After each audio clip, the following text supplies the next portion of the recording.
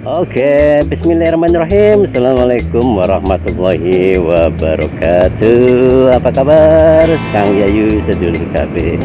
Aja ngiwe, aja nengen.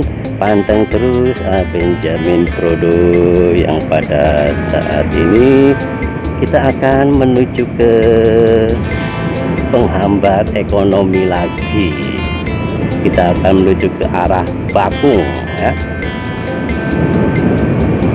iya kita nebus uh, kan ibu-ibu. Ibu-ibu kalau nyebrang kayak gitu ya mak. Jadi kalau menemui ibu-ibu berkendara hati-hati. Iya lanjut. Jalan Bakung terkenalnya itu jalannya belak-belok. Desa Bakung dibagi menjadi dua ada Bakung Lor dan juga ada Bakung Kidul. Sekarang kita sedang berada di Bakung Kidul. Tapi ini antara Pangkalan dan Bakung bersebelahan sebelah kanan Bakung sebelah kiri Pangkalan. Ini jalanannya masih bagus mantap ini pun baru diperbaiki tapi keren tidak cepat rusak. Hanya beberapa saja tuh tadi baru lihat kan ya. Belok lagi di sini langganan bergenangnya air. Nanti untuk titik-titik di mana jalan rusak itu nanti bisa dicek lokasinya di Google Map. Nanti akan saya tandai biar bisa di cross check dan juga bisa mengecek bersama-sama. Ya di sini ada arah jalan belok kanan di situ depan pertigaan ya.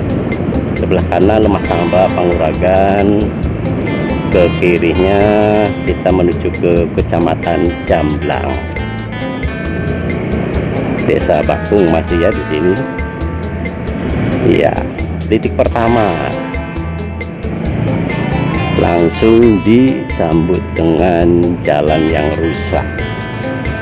Iya iya iya iya. Iya. Ini kalau habis hujan wush. Uh, sangat keren sekali.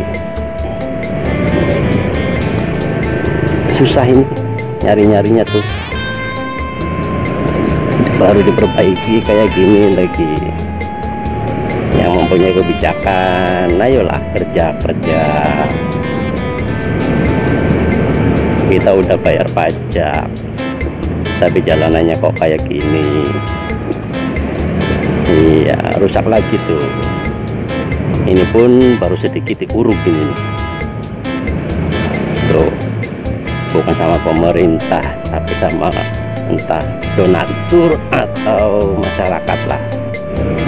Rusak lagi ya Cirebon. Harusnya jangan kayak gini. Kenapa?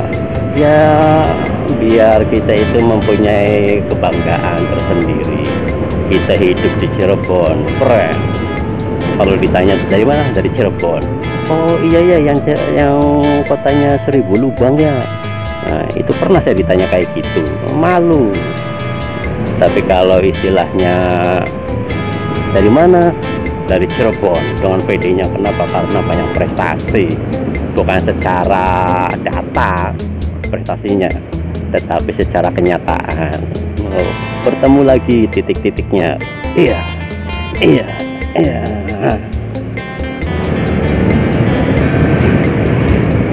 Dan saya yakin ini dari tahun 2015 yang tadi di kecamatan Gunung Jati pun sama yang di desa Buyut. Jalannya yang tadi rusak tuh sama saja di tahun 2015 pun ya tetap di situ-situ aja yang rusak. Tuh iya. Tuh ya iya. Iya enggak ada. Enaknya jalanan. Waduh. Apalagi kalau apa namanya itu? Mobil ya. banyak yang rusak. Motor pun sama banyak yang rusak. Ya kita melewati rel kereta api tanpa palang pintu. Nah ini pun dari sukarela masyarakat atau pemuda yang belum mempunyai pekerjaan. Gajinya dari mana? Ya dari mobil yang lewat ngasih. Dari motor yang lewat ngasih. Seperti itu. Ini tadinya rusak udah dibeton tapi mulai retak-retak tapi ditambal sama aspal cair. Keren. Kita sekarang berada di desa apa ini namanya? Iya desa itu. Sis silakan bisa dilihat indahnya jalan-jalan di Cirebon mempunyai hal-hal yang rusak semua. Harusnya tuh mulus keren biar perekonomian lancar. Jalan bagus perekonomian mantap. Gitu. Jangan konsisten dengan jalan rusaknya. Dan di jalan ini sudah mulai diperbaiki itu udah oke okay, udah dibeton ya udah satu tahun lebih lah ini mah mulai retak-retak. Ya pas hujan.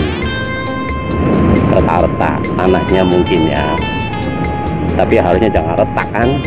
Iya. Karena kan yang bangun kan golongannya profesional. Tuh retak. Kenapa bisa kayak gitu? Harusnya nggak boleh ya selesai sampai di sini. Oh, rusak lagi jalannya. Sebelah kiri ada sungai itu ya. Nah untuk kalau ke kanan itu ke ke kecamatan Kelangenan sis iya. Iya itu pun tadinya ambles tanahnya itu ya. Kemudian diperbaiki jembatannya diperbaiki ditutup selama beberapa minggu tapi antara aspal dan jembatannya itu amblas lagi. Nah lalu melihat tuh jalanannya amblas lagi. Harus bergantian. Kalau mobil bagaimana? Ya bergantian juga. Ayo Cirebon. Jangan konsisten dengan seribu lubangnya. Tuh bisa dilihat banyak lubang. Ayo kanan kiri sawah. Sangat indah. Keren oke. Okay. ya lancar lagi. Cus. Ini pun sudah diaspal ya. Uduh, tapi mulai ya biasa. Kenapa gitu ya? Harusnya kan diaspal terus gitu loh rata. Enggak bergelombang gitu tapi di sini bergelombang kan sama profesional kan di aspalnya kan ya. Tapi kok bisa enggak rata gitu loh. Kenapa bisa gitu? Aduh ngepas bisa iya terus terus ya. Berlubang lagi. Nah dibelokan nih belok kanan.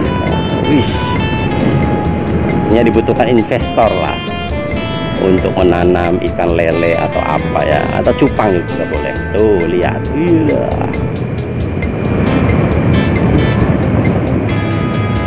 Sangat-sangat keren kolamnya banyak nih. Lubangnya. Ayo Cirebon jangan konsisten dengan seribu lubangnya. Iya iya iya. Iya. Gimana ini? Iya. Iya kasihan kan masyarakat di sininya ya saya juga kasihan. Sayanya loh harus dikasihani iya ya aduh ya nah, itu diapain ini? Dikasih adukan ini. Tapi kok kayak gini? Berarti bukan dari pemerintah. Atau dari mana? Nggak tahu lah. Yang penting tadinya itu belum kan ya, sini pun sama dan di depan tadinya ada lubangnya dalam banget. Mau mencapai satu meter bayangin. Tapi sama masyarakat lagi. Ya swadaya entah ada yang bangun ini. Nah ini pun dikasih semen. Uh, uh, uh, tuh di depan tuh. Aduh. Kan? Kalau hujan jalannya becek. Kalau kemarau nah di sini nih tuh yang naik nih tuh itu tadinya satu meter itu kemudian diuruk. Makanya uruknya kan ada tanah ada bata pasti kan dari masyarakat.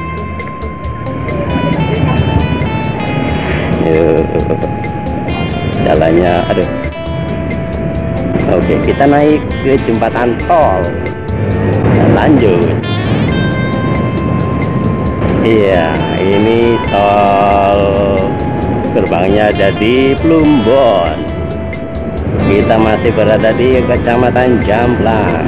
Tadi yang uh, belokan yang ada jalan rusak tuh sampingnya itu kan kantor kecamatan. Nah ini desa Pelaga kemudian di sini tempat uh, pengrajin kalau tahun baru bikin trompet dan banyak-banyak mainan. Di sini tempatnya pengrajin pengrajin mainan. Tradisional. Tapi gara-gara corona mereka tidak memproduksi trompet tidak. Hanya mainan saja. Kasihan ya? Iya saya juga tuh harus dikasihani. Nah itu posnya golongannya apa itu? PP pemuda Pancasila lagi ngapain itu dia? Aneh ya. Wih banyak banget ya. Ada acara apa ini? Uh, ngeri kalau sama golongannya LSM ya dilanjut. Pantesan tadi ada yang konvoy-konvoy yang berseragam ya ternyata ada kumpulan. Tapi entah itu tanahnya milik siapa gitu ya. Hanya milik pemerintah. Atau milik orang untuk nggak apa-apa dibangun tadinya emang nggak ada itu baru tahun kemarin. Di sini emang jondol jondol atau posko untuk kumpul-kumpul rusak lagi. Iya. Dan di Gamblang ini pun di lokasi yang akan kita datangi oh, pengrajin. Ada golongannya tungku ada ban di sini ya. Kursi ban celengan untuk pupuk ya. Produksinya ada di Jamblang sini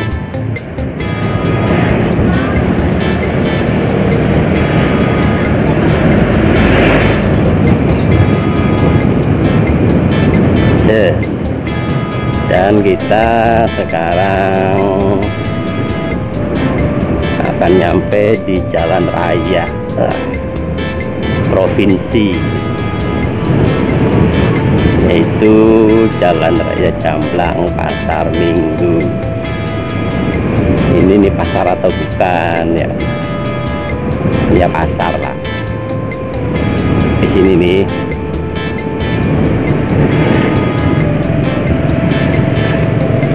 iya. Oke ya sampai di sini saja. Nanti kita lanjut uh, ke perjalanan yang lainnya. Akhir kata wassalamualaikum warahmatullahi wabarakatuh. Peace